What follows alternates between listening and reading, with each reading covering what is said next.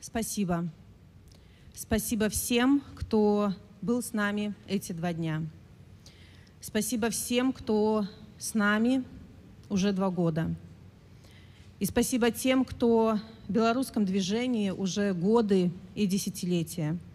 Я понимаю, что наши нынешние шаги были бы невозможны без того, что вы сделали задолго до 2020 года. Я согласна, что уже сказано много слов, и поэтому я перейду к делу.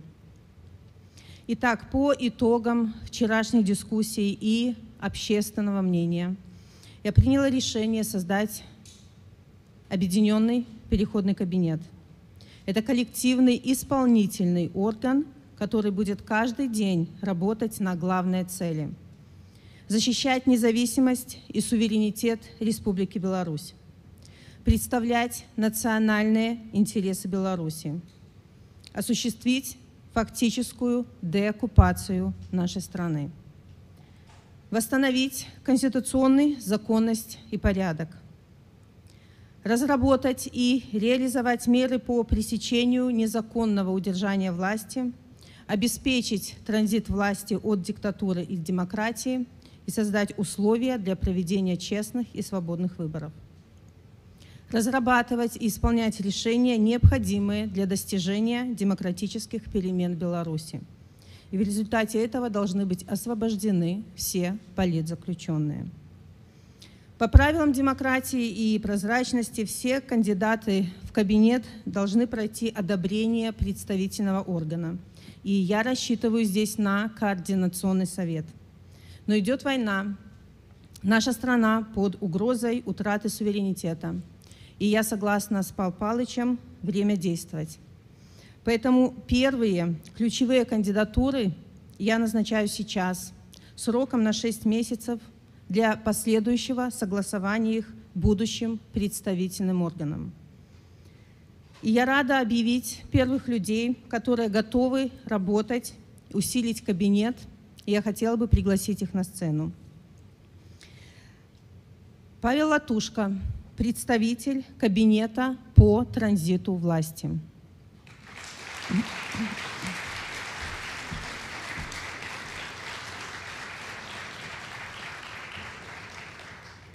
Александр Азаров, представитель Кабинета по восстановлению правопорядка.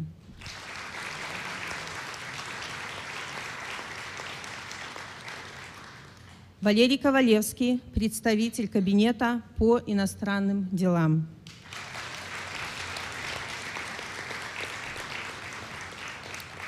И самое главное приобретение нашего движения и большая честь озвучить этого человека как часть команды Валерий Сахащик, представитель кабинета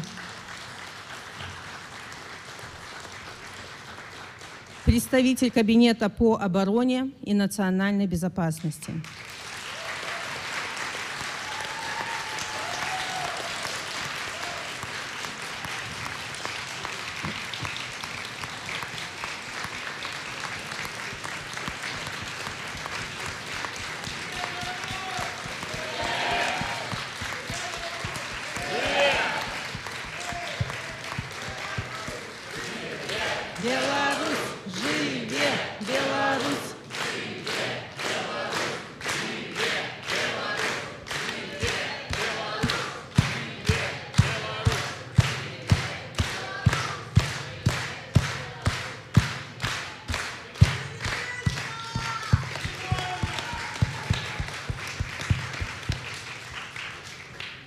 Теперь это наша общая команда.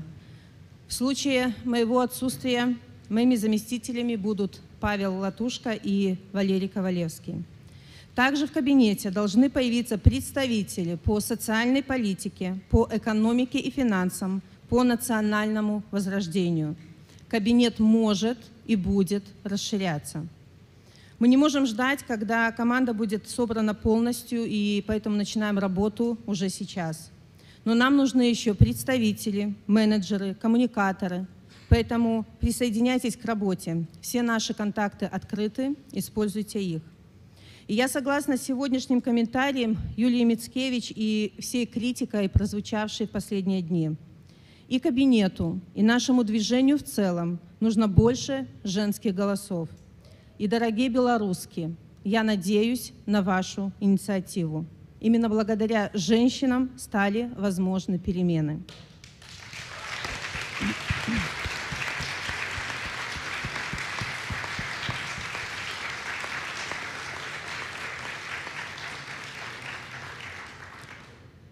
Но сейчас я попрошу каждого на этой сцене сказать свое слово и кратко раскрыть, чем вы будете заниматься в кабинете. Первым прошу, Павел Павлович. Дякую. Перадусім я хацеў бы падзякаваць лідара Беларусі, абранага прэзідэнта Светлану Ціхановскую за прынятае рашэнне. Хацеў бы падзякаваць яе, а таксама сваіх калег по створанаму зараз кабінету за ўзаемны давер, за гатоўнасць весці барацьбу, змагацца за будучыню нашай Беларусі. Сёння, калі незалежнасць нашай краіны знаходзіцца пад пагрозай, сёння, калі існаванне беларускай нацыі знаходзіцца пад пагрозай знішчэння, мы павінны аб'яднацца і рабіць усё, каб не дапусціць гэтага. Мы казалі, што ніводная каманда самастойна не ў стане дасягнуць той мэты, у якую поверылі большасць беларусаў, бо мы не апазіцыя, мы большасць, нас бальшыня. Мы не ў стане по аднаму, але мы зможам, здолеем разам, бо мы верым, можам і пераможам. Я хотел бы сказать, что ў рамках кабінета буду адказваць за пытанні транзіту, пытанне ўзмацнення ціску на нелегітымны рэжым Лукашэнкі, выкарыстанне ўсіх магчымых юрыдычных, эканамічных, персанальных рэсурсаў дзеля таго, каб забяспечыць татальны ціск на гэты рэжым і дасягнуць нашаю мэты. Я хочу верыць у тое, што нас падтрымаюць большасць беларусаў, большасць дэмакратычных сілаў. І я спаюся, што агуча агульнае меркаванне дзверы адчынены да кожнага, хто гатовы сваёй думкай, але перадусім справай дапамагчы ў рэалізацыі нашай мэты. Бо нашая мэта гэта аднаўленне закона і канстытуцыі, гэта прыняцце новай канстытуцыі, гэта дэмакратыя і свабода, гэта правы чалавека, але нашая мэта гэта нашая дзяржава, якая ў кожнага ў сэрцы, яна ў сэрцы маім, у маёй душы, і я не магу здрадзіць сваёй роднай Беларусі. Жыве Беларусь. Дякую. Александр Азаров. Спасибо за доверие. Я не такой прекрасный оратор, как Павел Латушка. И вообще работал в МВД и оратором не был никогда. Поэтому моя речь, наверное, будет выглядеть не так. Вот. Спасибо за доверие еще раз. А, значит, создание кабинета – это было наша идея байпола на протяжении последних, наверное, 6-7 месяцев. Мы с этим предложением постоянно обращались в штаб. единственное, с какой целью мы сюда приехали, именно э, мы ожидали создания кабинета. Нам не интересно посещение конференций, других э, семинаров, различных мероприятий. Нам нужны действия, чем мы и занимались. Вот мы, э, значит, год назад больше даже объявили план. Нам не нужно было получить кого-то согласие или еще что-то. Мы сами собрались в Варшаве, э, разработали план, придумали и работали по нему целенаправленно. Нам не нужно было финансирование. Да? Мы не ходили, просили денег, как вот другие говорят, нам нужно распределить ресурсы и включите меня. Мы сами находили финансирование, и мы работаем. Нам не нужно ничего согласия. Мы работаем на благо Беларуси и белорусов. Мы хотим вернуться назад. Мы хотим победить этот режим. Вот. Поэтому я надеюсь, что назначение на эту посаду э, принесет пользу прежде всего Беларуси, э, не мне лично, а Беларуси. И вот э, в свою работу я вижу у нас я представитель по э, правопорядку, так, восстановлению правопорядка. Это как раз основная цель нашего плана Перамога. И мы будем дальше работать. Я думаю, что мы будем объединять ресурсы, силы, средства с другими организациями. Значит, с Валерием плотно очень будем работать, потому что у нас, в принципе, соприкасается, сферы деятельности.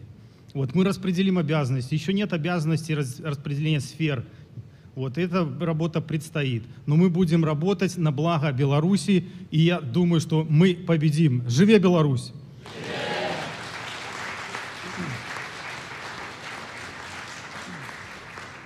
Валерий Ковалевский, пожалуйста. Добрый день всем. Дякую, Светлана Георгиевна, за гэты давер, за магчымасць служыць беларускаму народу. Дзякую нашим партнёрам за вельмі ўпартую, вельмі настойлівую паслядоўную працу у тым, каб давесці гэтую ідэю да яе рэалізацыі. Гэты кабінет, гэтае рашэнне, гэта вынік супрацы на працягу месяцаў. Многія людзі прыходзілі з гэтай ідэі. Мы чулі гэтыя меркаванні, мы чулі гэтыя заклікі і вельмі радыя, што ўрэшце рэшт мы дамагліся гэтай, гэтай мэты. Я буду займацца міжнароднай справай у кабінеце у аб'яднаным пераходным кабінеце. Гэта адна з найбольш распрацаваных сфер у дэмакратычнай супольнасці Беларусі пасля два года.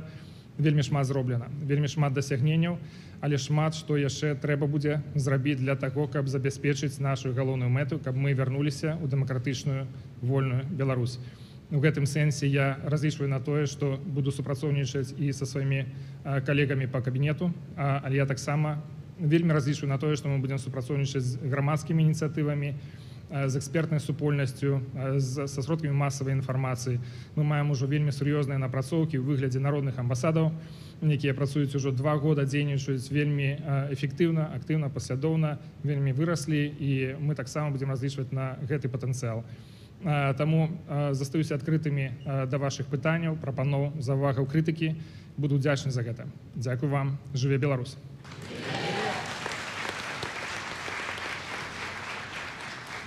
И Валерий Сахащик, прошу вас.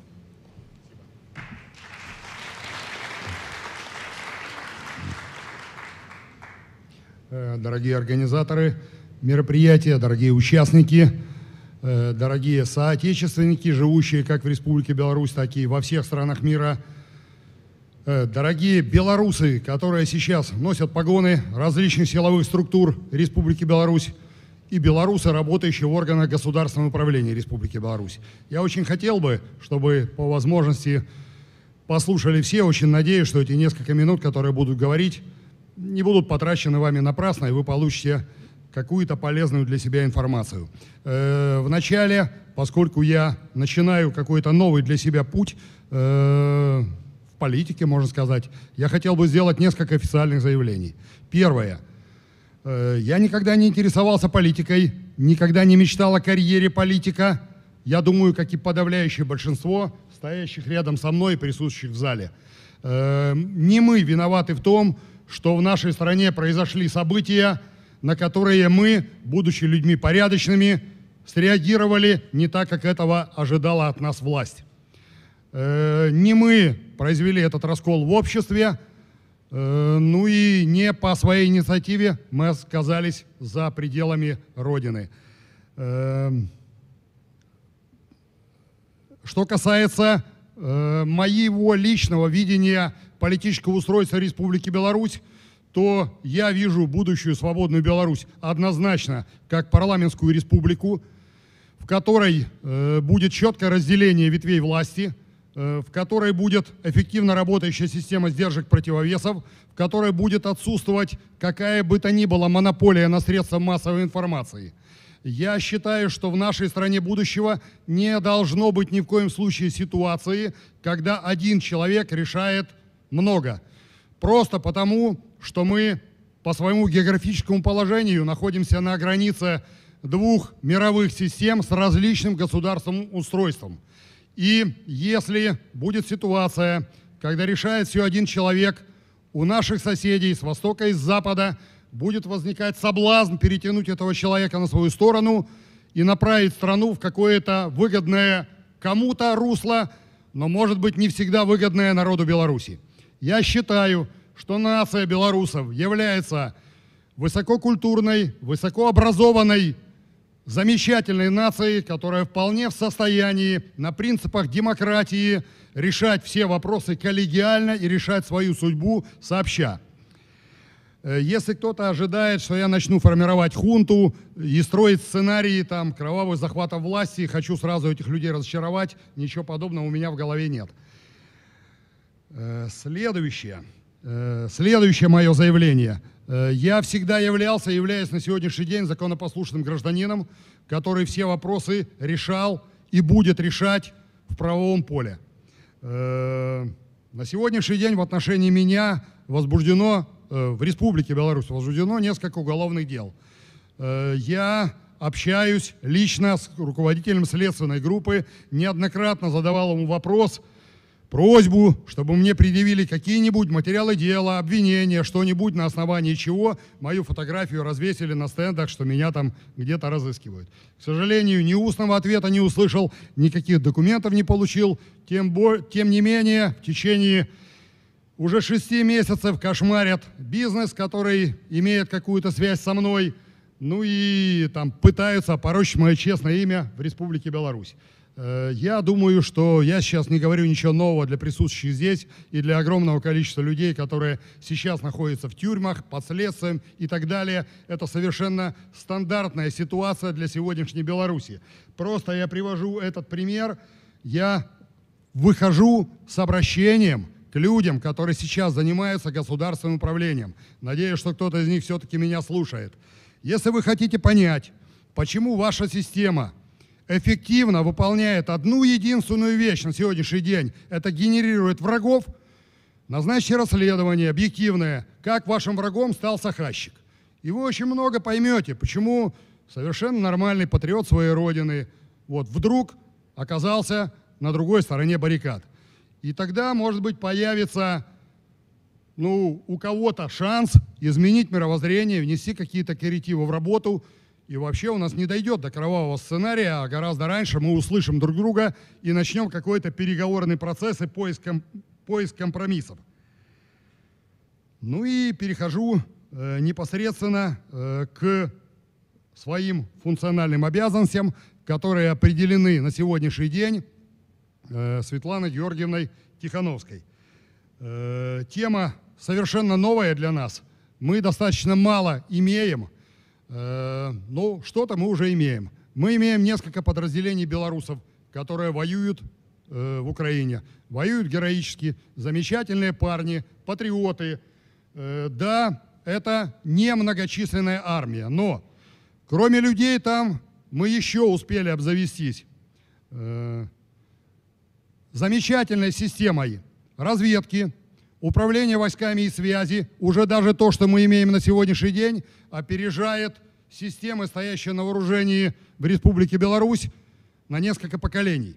Э, Люди, которые управляют на сегодняшний день Беларусью, даже не представляют, как много белорусов, уехавших недавно из страны, уехав- уехавших очень давно из страны, живущих в Америке и странах Европы, помогают нам айтишники, которые там, как кто-то думает, уехали из с родины за длинным рублем, совершенно бесплатно разрабатывают для нас программное обеспечение. Например, совершенно бесплатно дорабатывают сейчас платформу по управлению войсками. Э, даже, может быть, более современная она уже на сегодняшний день, чем то, что стоит на вооружении армии Америки. Потому что многие процессы по внесению развединформации которая делается вручную, у нас автоматизируется. Мы кое-что уже имеем. Мы имеем поводы для оптимизма, пока скажем так осторожно. Мы имеем надежду. И если вы, мне очень много задавали вопрос, журналисты, просто э, участники конференции, считаю ли я реальным силовое решение вопроса. Я считаю его реальным. Я бы очень хотел, чтобы до этого не дошло. Я буду предпринимать все усилия, чтобы не дошло до того, что белорус будет стрелять в белоруса. Я очень надеюсь, что до этого не дойдет. Вместе с тем, если говорить вот так вот строго формально, да, реально создать э, силовой компонент с серьезным потенциалом, потенциал которого будет измеряться не количеством людей, а высокими современными технологиями, э, серьезными современными средствами поражения, то, что может успешно конкурировать с тем, что есть в сегодняшней Беларуси. Чтобы реализовать эту задачу, нам нужно сделать очень многое. Прежде всего, нужно иметь э, четкое правовое поле, которое будет регламентировать нашу деятельность. И над этим нужно серьезно поработать. Я бы очень не хотел, чтобы кто бы то ни было из участников процесса оказался вне правового поля и имел какие-то либо негативные последствия для себя в будущем. Я буду стараться так сделать и надеюсь, что у меня это получится. Э, Я, э, наверное, не буду сейчас делиться с вами планами, потому что все-таки большинство этих планов относятся к категории не для всеобщего обсуждения. То, что можно обнародовать, мы будем обнародовать, мы будем стараться, чтобы легальная часть нашей работы была прозрачной, будем публиковать информацию э, в наших социальных сетях, на сайте нашего движения, который будет создан. Вместе с тем прошу отнестись с пониманием и не задавать вопросов, которые могут навредить нашему делу. Э, Я обращаюсь к журналистам, я очень уважаю вашу работу, но, наверное, в течение ближайших недель, ну, кроме того, что я сказал сейчас, особо ничего вам сказать не смогу. По мере того, как эта ситуация будет меняться, насколько это физически будет возможно, я буду с удовольствием с вами общаться. На этом, наверное, я заканчиваю свое обращение. Я хотел бы, учитывая огромное количество вопросов, которое было на сегодняшнем мероприятии о Зеноне Станиславовиче Поздняке, сообщить, что э, мы дважды встречались с ним в течение недели пред э, форуму. Э, мы э, имели каждый раз многочасовую беседу. Зенон Станиславович э, ведет активную работу. Он на самом деле является, наверное, самым заслуженным человеком э, из всего нашего демократического движения по э, возрождению нашего национального движения, нашей нации. Э, Заслуги его, думаю, что неоценимы в этом плане. На сегодняшний день он горячо интересуется и участвует, и сам ведет активную работу. Есть какие-то причины, по которым он сюда посчитал для себя ну, необходимым не приехать. Вместе с тем мы с ним договорились, что по возвращению с конференции э, я ему ну, сообщаю обо всем, что произошло. Я, в общем-то, думаю, что он и следит за ходом событий. И у нас с ним произошла договоренность. Ну, я ему сказал свое предположение, что белорусы перестанут ругаться, объединяться в одно целое, в одну силу. Он сказал, Валера, если это так, я с вами работаю в общей команде, решаем все задачи вместе. Я уверен, что так и будет, и больше вопросов не будет. Где Зенон Станиславович, почему его нет с нами? Я уверен, что он с нами будет, и свой огромный опыт, свои знания он принесет в общую команду для успеха общего дела. Спасибо за доверие, спасибо за внимание. Живе Беларусь!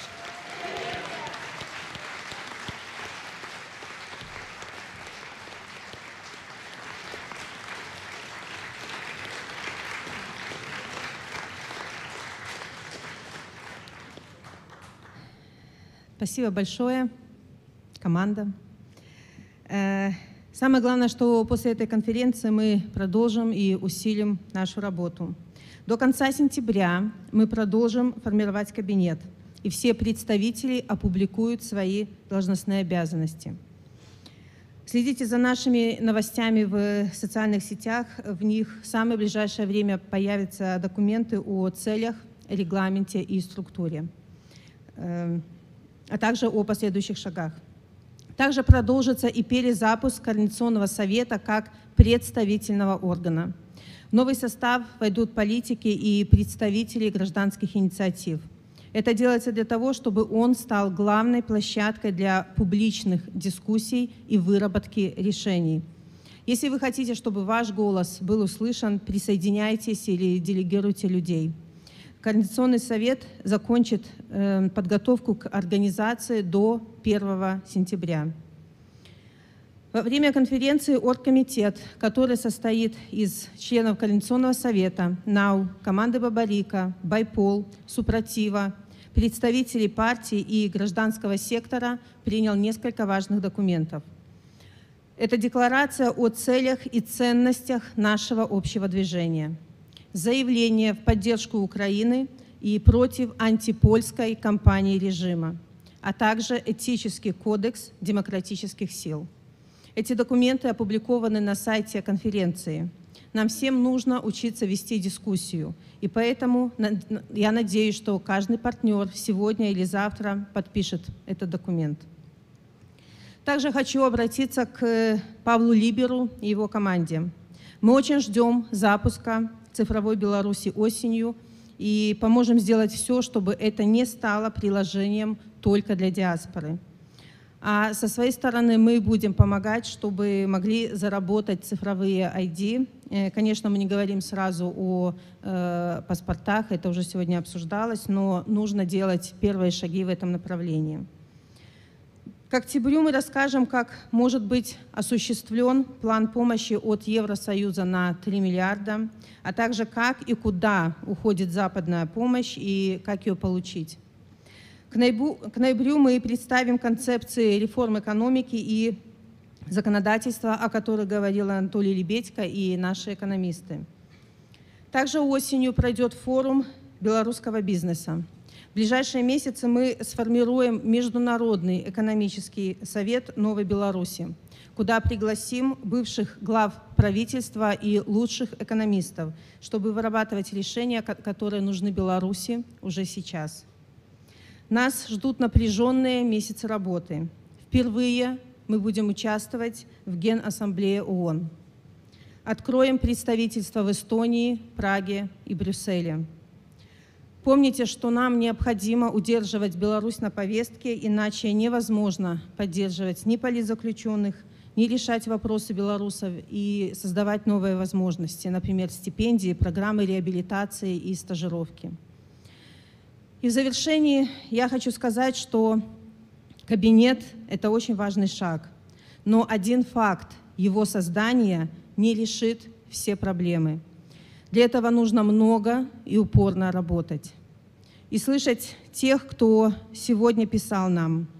Працуйте, але памятайте, што гэта вы робіце ў першую чаргу дзеля тых, хто ў Беларусі. І я лічу, што гэта павінна быць нашым асноўным правілам.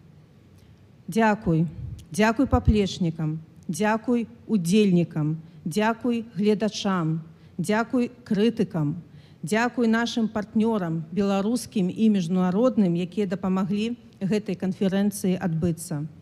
Дзякуй арганізацыйнай і тэхнічнай камандзе, якая зрабіла вялікую працу. Дзякуй нашым вядучым, мадыратарам, перакладчыкам і валанцёрам. Дзякуй усім вам. Жыве Беларусь!